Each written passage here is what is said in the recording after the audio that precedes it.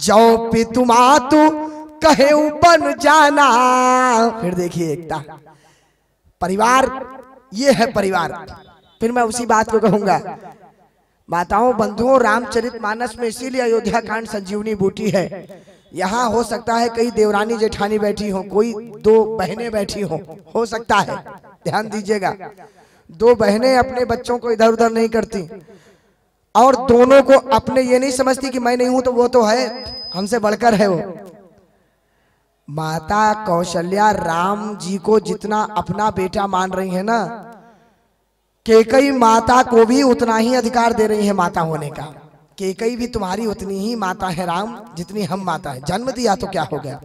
मातृभाव में कोई कमी थोड़ी है केकई जी की?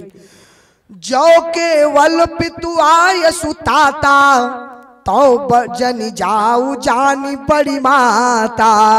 लेकिन जो पितु मातु कहे बन जाना।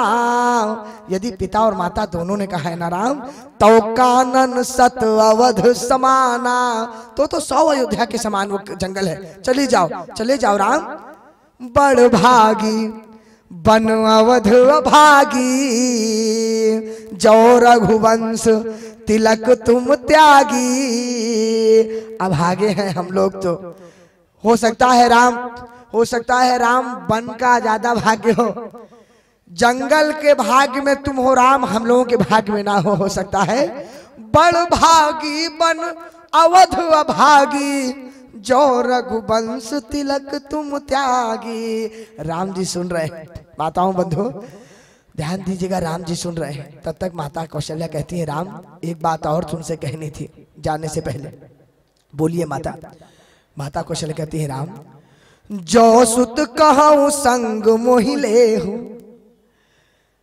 अगर मैं कह दूँ कि राम, मैं भी चलूँगी, मुझे भी ले चलो तो तुम्हारे हृदय हो संदेह तो तुम ये सोचोगे कि अरे, माता क्या सचमुच मेरे साथ चलना चाहती? है और फिर तुम मुझे मना करोगे कि नहीं नहीं, माता, आप मत चलो, आप कष्ट कर जाओगे। और हो सकता है कि तब मैं रुक जाऊँ। मैं ऐसा झूठा प्रेम आपसे नहीं करना चाहती। देखिए, कितनी सच्चाई है संबंधों में। कह रही है, बेटा, यदि मैं तुम्हारे साथ चलने को तैयार होने लग जाऊँ, और जानती हूँ कि मैं जा नहीं पाऊँगी तुम मना करोगे, मैं रुक जाऊँगी। तो ऐसा झूठा नाटक करने की मुझे कोई आवश्यकता नहीं। यह विचार नहीं करो हट। झूठ स्नेह पढ़ाई। क्यों नहीं? क्यों नहीं गई? देखिए, इससे एक बात समझ में आती है। समझ में यह आती है कि एक स्त्री के लिए यदि हमसे पूछा भी था, और दिल्ली में स्वामी जी के आश्रम पे ही एक पंडित जी ने एक बार प्रश्न किया था, उनने कहा था कि एक बात बताइए एक स्त्री के लिए पति ज़्यादा महत्वपूर्ण होता है कि उसका पुत्र ज़्यादा महत्वपूर्ण होता है। कौन? तो मैंने यही उदाहरण दिया था कि देखिए, हमारे रामचरित मानस से तो यही समझ में आता है कि पति ज़्यादा महत्वपूर्ण होता है। एक संत ने कहा भी है कि दासी दासी करके एक संत हुए, वो लिख रहे हैं कि दासी दुख कारण प्रगट यद्यपि कौशलनाथ पैरानिन सुत को तजो तजो न पति को साथ। पति सदैव स्त्री के लिए ज़्यादा महत्वपूर्ण होता है। उस अगर चुनाव करने की बात आ जाए तो। वैसे तो दोनों के लिए ये कहना कोई अच्छी बात नहीं है, लेकिन एकदम ही चुनाव की बात आ जाए तो पतिदेव, अमित दानी भरता वह देही, अधम सुनारी जो सेव न थे ही यही कह रहे हैं माताओं बंधुओं कह रही हैं, यह विचारी नहीं करऊं हट, झूठ स्नेह पढ़ाई, और जानी मातु करनात बलि, सूरती पिसरी जन जाई। राम, मुझे भूल मत जाना अपनी इस माता को। मैं तुम्हारे साथ जा नहीं पाऊँगी, इसका ये मतलब नहीं है राम, कि मेरे प्रेम में तुम्हारे लिए कोई कमी है। तुम यहाँ से चले जाओ तो ऐसा मत समझना कि माता ने मुझे साथ नहीं दिया। यहीं रह गई। राम, मैं तुम्हारी प्रतीक्षा करूँगी। भूल मत जाना, आना ज़रूर। तुम्हारी ये माँ तुम्हारी प्रतीक्षा करती रहेगी। माताओं बंधुओं, माता कौशल्या और प्रभु श्री राम चर्चा कर ही रहे थे। तब तक क्या हुआ जानते हैं? तब तक लक्ष्य माता जानकी को पता पड़ गया। और जैसे ही माता जानकी को पता पड़ा ना, माता जानकी दौड़ी। दौड़ी। और दौड़ के जाकर के माता कौशल्या के चरणों पे दंडवत हो गई। कुछ बोल नहीं रही। केवल जाकर के और लेट गई। अब माता कौशल्या देख रही हैं और देखते ही समझ गई कि अब जानकी जी को भी जाने की इच्छा हो गई। जानकी जी को भी जाना चाहती है जानकी जी। लेकिन जाने कैसे दें? उचित बात नहीं है। तो क्या कहती है जानते? देखा, अरे, लेटी हुई है। राम जी से कहती है, राम, एक बात सुनो। ये जो लेटी हैं जानकी जी, इनकी तुम कुछ मन मत बना लेना इनको ले जाने का। इनकी ज़िम्मेदारी हमारे ऊपर है अब। ये जानकी जी, तुम्हें बनवास मिला होगा, राम। तुम तो जंगल जंगल घूमे भी हो विश्वामित्र जी महाराज के साथ। ये जानकी जी ऐसी वैसी नहीं है। ये पिता जनक भूपाल मणि। ससुर भानु, कुल भानु, और पति रवि कुल कैरव विपिन, विधु गुण रूप निधानु। पति आप हैं इनके, चक्रवर्ती सम्राट दशरथ जी महाराज ससुर हैं जनक जी इनके पिता जी हैं, और मैं सास हूँ। एक बात समझिएगा, बड़ी बारीक बात। बहुत मैं व्यवहारिक बात करूँगा आज। ध्यान दीजिएगा, माताओं, बंधुओं, भगवान ना करे किसी के यहाँ विवाह हो और कोई कन्या आए विवाह करके। और जब विवाह करके कोई बहू आ जाती है ना तो बहू आने के बाद मान लीजिए, खुदा ना खास्ता, चौथे दिन। चौथे दिन, पाँचवें दिन खुदा ना खास्ता। जो पतिदेव है, यानी जो दूल्हे राजा हैं, जो बहू के, आपके बेटे हैं, जो आपके नहीं माने, जिसके घर में आए खुदा न खास्ता उनका एक्सीडेंट हो जाए एकदम से, पैर वैर टूट जाए। या मान लीजिए कोई बहुत बड़ा बिज़नेस में लॉस हो जाए, बहू के आने के बाद चार पाँच दिन बाद, दस दिन बाद, एक महीना बाद तो क्या होता है घर में मालूम है? माताएँ क्या कहती हैं? नब्बे प्रतिशत। कहती हैं कि जब से इस करम जली ने पैर रखा है, इस घर में ये कहाँ से भाग्य लिखवा के आई है? हम लोगों का इतना अच्छा घर परिवार चल रहा था और सब अच्छा आ रहा था, ये जब से नाच पीटी आई है, सारा घर बर्बाद करके रख दिया। बर्बाद हो गए हम। इसको चोट लग गई हमारे बेटे को। इसके भाग्य से, सब कुछ इसके भाग्य से हो रहा है, इसके, उसके दुर्भाग्य से हो रहा है। ये कहाँ से अपना भाग्य लिखा के आई? यही तो कहते हैं ना, नब्बे प्रतिशत लोग। माता कौशल्या नहीं कह सकती थी? कितना अच्छा मेरे राम को राज अभिषेक मिल रहा था। इतना राजा जी प्रेम करते थे। अरे भाई विश्वामित्री तक को मना कर दिया। आज वनवास भेजना चौदह वर्ष का। यही जब से आई इनके चरण पड़े तब से हुआ ये। शुरू ये सब नाटक। कह सकती थी। क्या कह रही है? कह रही है। कह रही है मैं पुनि पुत्र बधु प्रिय पाई रूप राशि गुणशील सुहाई कलप बेली विधि बहु कलप बेली जिमी, बहु विधि लाली। सींची स्नेह सलिल प्रतिपाली। अरे फूलत फलत भयऊ विधि बामा। ये परमात्मा ने क्या दिखा दिया? इतनी सुंदर, इतनी अच्छी, मैं पुनि पुत्र बधु प्रिय पाई। कितनी अच्छी तो बहू मिली है मुझे। कितना अच्छा मेरा बेटा है। कितना अच्छा परिवार चल रहा था। लेकिन ये परमात्मा को न जाने क्या मंजूर था? बहू के ऊपर दोष नहीं दे रहे। फूलत फलत भयऊ विधि बामा। जानी न जाहि काह परिणामा। ऐसा क्यों हुआ राम? मुझको समझ नहीं आ रहा। जानकी जी, जानकी का इसमें कोई गलती नहीं है। और एक बात सुनो राम। राम, मैं जानकी का इतना ख्याल रखती हूँ ना, तुम यदि ये सोच रहे हो ना कि जानकी जी, अगर जानकी के मन में भी आ रहा है कि उन्हें वनवास जाना है तो जानकी चाहे अपने मायके रहती हो या चाहे ससुराल में रहती हो। जानते हो, वो पलंग से निकलती है ना जानकी जी? तो सीधे गोद में आती है। ज़मीन पर, पृथ्वी पर तो जानकी ने कभी पैर ही नहीं रखे। जानकी इतनी सुकुमारी है, राम। कैसे जंगल चली जाएँगी? पलंग पीठ, तज गोद हिंडोरा, और सियना दीन पगवनी कठोरा। कभी कभी गई नहीं है। और मैं उनको इतना प्रेम करती हूँ ना। जीवन मूर जिमी जोगवत रहो, और दीप बाती नहीं टारन कहो। क्या उपमा दी अब आजकल के लोग तो समझ ही नहीं पाएँगे इस उपमा को जो यहाँ बैठे होंगे। जो एसी और एलईडी वाले लोग तो समझ ही नहीं पाएँगे कि क्या उपमा है। जो पुराने लोग हैं, समझ जाएँगे। माताओं बंधुओं पहले क्या होता था? घर में एक दिया लगाया जाता था गाँव में। अब वो दिया चाहे वो चीनी मिट्टी के बर्तन में या आज ऐसा भी सिस्टम था कि वो बोतल नहीं होती थी? बोतल के ऊपर से ढक्कन तोड़ देते थे काट के उसमें से दिया निकाल देते थे। जूते की लेस जूते की लेस से दिया बना ज़्यादातर समझा रहा हूँ मैं आपको उस समय वो अयोध्या जी में ऐसा नहीं होता होगा लेकिन मैं बता रहा हूँ।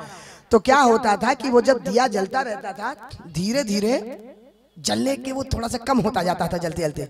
तो कहते थे, जाके थोड़ा सा उठाओ दिया, थोड़ा सा उठाओ। उससे सरल काम और वो कोई बहुत बड़ा काम नहीं है वो। लेकिन माता कौशल्या कह रही है, राम, मैंने जानकी जी को कभी ये भी करने को नहीं कहा रात में कि वो दिया थोड़ा सा नीचे जा रहा है, जानकी जी, उसको थोड़ा सा उठा दो। इतनी सुकुमारी है हमारी जानकी। जीवन मोर जिमी जोगवत रहो और दीप बाती नहीं टारन कहो और ते बन चाही चलन अब साथा। आयसु का हो रघुनाथा।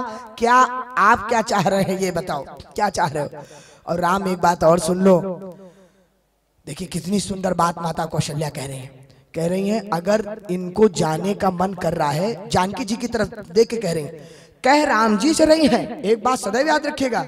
मर्यादा देखिए एक सास की, और यहाँ जो सास बैठी हो, वो इस मर्यादा का पालन कम से कम करना प्रारंभ कर दें। जब विवाह होके आ जाए बहू, देखिए, उस समय जब इतनी मर्यादा थी, आप एक बात आइए आप चाहते हैं कि बहू हमारी इज़्ज़त करे। हमारे घर में एकता रहे, हमारा बड़ा सम्मान रहे। तो या तो भगवान की ऐसी कृपा हो जाए, आप पे इतनी तपस्या हो कि जानकी माता जैसी बहू आ जाए। तो तो बहुत अच्छा है। लेकिन यदि नहीं आ रही है तो कुछ तो एडजस्ट करना पड़ेगा ना। कुछ तो एडजस्ट करना पड़ेगा तो क्या एडजस्ट करना पड़ेगा? देखिए माता, कौशल्या से। पति पत्नी के बीच में इंटरफेयर करना। अगर पति कुछ कह रहा है, पत्नी कुछ चाह रही है तो प्रयास करिए कि आप लोग बीच में इंटरफेयर ना करें। उसी में आपका सम्मान भी है और प्रेम भी है। दोनों है। माता कौशल्या, आप लोग पाठ पढ़ लीजिएगा। माता कौशल्या इतनी सारी बात कर रही है, लेकिन एक बात भी वो जानकी जी से नहीं कह रही है। वो कह रही है राम जी से समझाते हुए कि राम राम, ये जानकी अगर जाने को चाह रही हैं तो एक बात सुनो राम बनहित कोल किरात किशोरी, रची बिरंज विषय सुख भोरी। बन जाने के लिए कोल किरात किशोरी पहले से वहाँ ब्रह्मा जी ने बना रखे कहने का ये अर्थ है, कहने का अर्थ है कि जिसको एसी में रहने की आदत पड़ गई हो। आप उससे कैसे ये सोचेंगे कि वो गर्मी में जाकर के और पेड़ के नीचे लेट जाएगा? लेकिन जो गाँव वाले हैं हमारे, जो ग्रामीण अंचल के लोग हैं, वो तो पेड़ के नीचे, आम के पेड़ के नीचे है कितने आनंद से बिता देते हैं। अरे भाई, लाइट की व्यवस्था अभी भी कहा सौ प्रतिशत हो चुकी है, हो पाई है गाँव में। उनको थोड़ी मालूम है कि एसी क्या होता है, एसी की ठंडक क्या होती है, या कार क्या होती है, वो साइकिल से आनंद लेते हैं। हमारे बैठे शिव नारायण मिश्रा जी दिखे, सत्तर हज़ार रुपए कमाते हैं, लेकिन साइकिल नहीं छूट रही उनसे। मैं कहता हूँ, भाई थोड़ा सा स्टेटस बना लीजिए अपना। अब साइकिल देखिए अब अब वो इसीलिए अब देख नहीं रहा हूँ मैं उनकी तरफ़ मुँह छुपा लिए। तो कहने का ये अर्थ है क्योंकि आदत पड़ गई उनको साइकिल चलाने की। कोई कंजूस नहीं है वो। लेकिन भाई आदत तो है।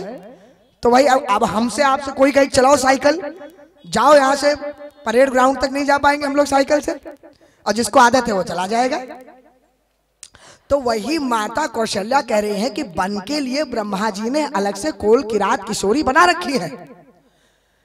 उसके लिए जानकी जी को अलग राजकुमारी जैसा बनाया है। बनहित कोल किरात किशोरी, रची बिरंची विषय सुख भोरी। अरे पाहन क्रम जिन जिम कठिन स्वभाव तिनही कलेश न कानन काहू। अब जैसे कीड़े होते हैं, पत्थर के कीड़े। तो उनका तो वही जीवन है। उनको कोई कठिनाई थोड़ी होती है पत्थरों के बीच में चलने पर। लेकिन हम लोग जाते हैं आप लोग, जिनको अभ्यास ना हो, वो चले जाइएगा वैष्णो माता, वैष्णो देवी की परिक्रमा करने। चार दिन तक पैर दर्द करेंगे। लेकिन कई ऐसे हैं जो रोज जाते आते हैं। उनको कोई, जो वहाँ जो घोड़े वाले घोड़े लेके चलते हैं, उनको थोड़ी कोई दर्द होता है उस बात अभ्यास है उनको उसी प्रकार कह रहे कि कहता पसती कानन जोगू, जिन तप हेतु तजा सब भोगू। या तो तपस्वी साध्वी, सिद्ध माताएँ, परम श्रद्धेय महामंडलेश्वर स्वामी विद्यागिरी जी महाराज जैसे, जो तपस्या के लिए, साधना के लिए भोग विलास को त्याग किया हुआ है जिन्होंने किन्होंने किसी ने कहा थोड़ी किसी का कोई दबाव थोड़ी, कोई वचन थोड़ी है। ये तो प्रभु की प्रेरणा है, प्रभु की कृपा है, और स्वामी जी का संकल्प है। संत महात्मा हिमालय की गुफाओं में रह रहे जा करके किसी ने कहा थोड़ी है। तो तपस्या के लिए जिन्होंने भोग को तगा है, तजा है या तो वो तो कहा, राम, ऐसा है, ना तो जानकी जी कीड़ा है, कीड़े की तरह ना जानकी जी को ब्रह्मा जी ने कोल की रात किशोरी के परिवार में कहीं ऐसा फिट किया था। वो तो सुकुमारी बन के आई थी। और ना ही जानकी जी का कोई तपस्या करने का, कोई तपस्या उनको करनी है। तपस्या का कोई अभी कोई का अब जब जिनको भगवान ही मिल गए, उनको क्या तपस्या करनी जी? कोई ऐसी बात नहीं है उनको। सियपन बस ही तात के ही भांति वो तो चित्र लिखित कपि देखी डराती। कहाँ से जाके रहेंगी? अरे जानकी जी को तो फ़ोटो में बंदर दिख जाता है ना राम। तो फ़ोटो का बंदर देखकर वो डर जाती है। वन में कैसे रहेंगी? अब राम जी सुन रहे हैं। माता कौशल्या बोल रही हैं। तब तक कहती हैं, एक बात बोलो राम। अब देखिए, मुख्य बात, माताएँ जो सास बैठी हो, वो इस बात पे ध्यान दें। आपको तो खैर सब ध्यान है ही, आपके लिए नहीं कह रहा हूँ मैं। लेकिन और भी जो, वैसे तो मैं जान रहा हूँ कि जितनी यहाँ सास बैठी हैं, वो अपनी बहुओं को सांस लेने देती है। माने जो सास हैं, वो अपनी बहुओं को सांस लेने दे रही हैं। उनकी सांस दबा के नहीं बैठी हैं। तो इसीलिए तो सत्संग में वो लेकिन जो एक आधा बीच में कहीं बैठा हो राहु की तरह। वैसे तो सत्संग में कभी राहु आ ही नहीं सकता है तो सब मैं विनोद में कह रहा हूँ, माताओं बंधुओं।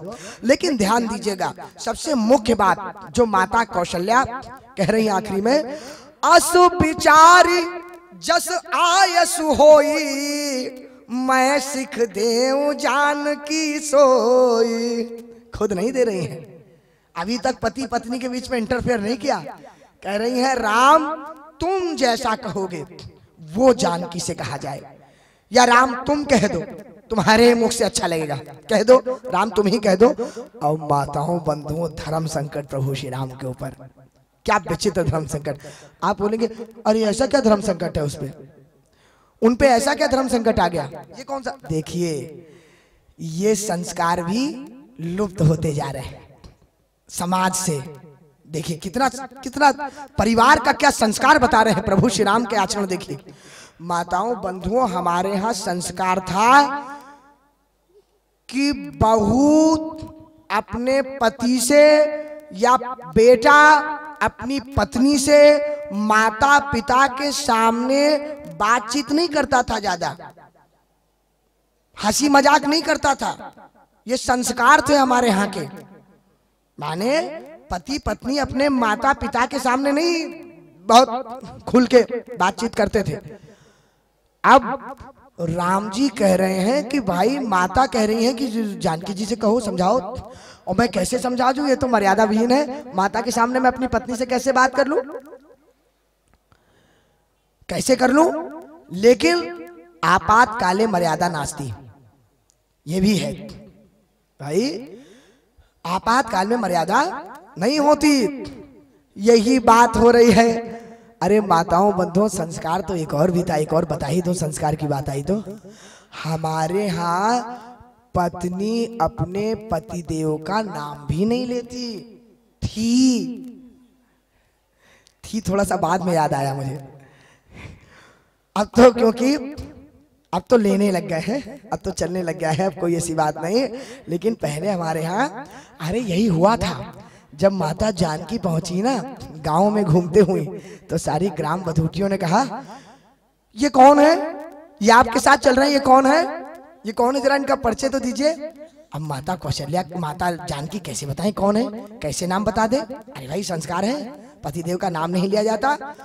और ग्राम बधूटिया पूछ रही हैं, ये शीश जटाउर बाहु विशाल बिलोचन लाल तिरछी सी भाव है। कविता वाली अयोध्या कांड, गोस्वामी जी का। शीश जटाओर बाहु विशाल बिलोचन लाल तिरछी सी भाव है। और तून सरासन बान धरे, तुलसी बन मारग में सुठी सो है। साथ पूछती बारही बार सुभाए चितय तुम तो हम रो मन मोहे। और पूछती ग्राम बधुसी सो, कहो सावरे से सखी रावरे को है। ये सावरे कौन है, जरा बताना तो। ये कोटी मनोज लजाव निहारे। अरे सुमुखी कहूँ को आही तुम्हारे तो सुनी सने हो मैं मंजुल बानी। सकुची सिया मन महु मुस्कानी। तीन ही बिलो की बिलो कति धरनी। माता ज़मीन की तरफ़ देखने लगे। आ क्या करूँ? कैसे इनको बता दूँ कौन है मेरे? कैसे नाम ले दूँ? तो देख रही लेकिन नहीं बताएँगी तो ये भी मर्यादा के खिलाफ बात है। तो तीन ही बिलो की बिलो कति धरनी, दुह सकोच बरनति बर बरनी सकुची सप्रेम बाल मृग नयनी, और भोली मधुर बचन पिक बयनी। क्या बोली जानती? माता ने सोचा कि ये पूछ रहे हैं, ये सावरे सलोने कौन है? कहो, सावरे से सखी रावरे को हैं। तो माता को लगा कि ये दो दो हैं, दूसरे के बारे में पूछा नहीं। तो ऐसा करूँ, यदि दूसरे के बारे में बता दूँगी तो ऑटोमेटिक समझ में आ जाएगा कि पहले वाले कौन है।